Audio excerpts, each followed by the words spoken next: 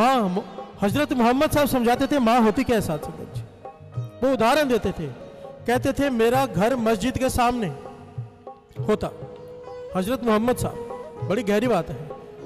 कहते हैं, अगर मेरा घर मस्जिद के सामने होता, मैं मस्जिद में नमाज़ पढ़ने जाता। मैंने नमाज़ अदा करनी शुरू कर दी होती। मेरे घर का दरवाज़ा खुलता, माँ आवाज़ देती कि, बेटा मोहम्मद तो मैं नमाज़ छोड़कर चला जाता है।